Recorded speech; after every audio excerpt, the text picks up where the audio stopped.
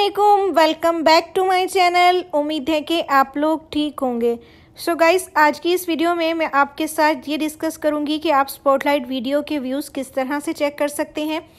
पहले होता था कि हम स्पॉटलाइट वीडियो के व्यूज़ देख सकते थे, लेकिन न्यू अपडेट के मुताबिक अब हम स्पॉटलाइट की किसी की भी वीडियो के व्यूज़ नहीं देख सकते।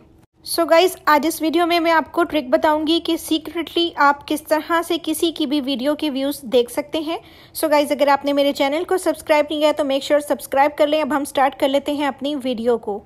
सो so गाइज़ अगर आपने किसी भी स्पॉटलाइट की वीडियो के व्यूज़ चेक करने हैं तो आपने थ्री डॉट पर क्लिक करना है। उसके बाद शेयर स्नैप पर क्लिक करना है।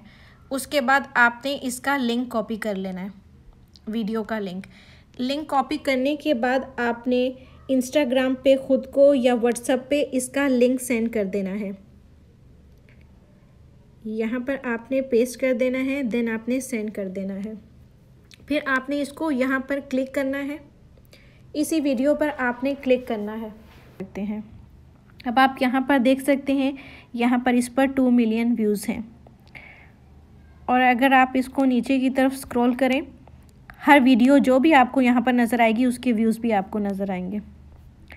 ये देख सकते हैं आप, सबके व्यूज़ आप यहाँ पर इजीली देख सकते हैं गाइज़ ये है एक बेस्ट ट्रिक स्पॉटलाइट वीडियो के व्यूज़ देखने के लिए। Make sure to subscribe my channel बहुत जल्द मिलेंगे आपके साथ एक नई वीडियो में। तब तक के लिए अल्लाह हाफिज़।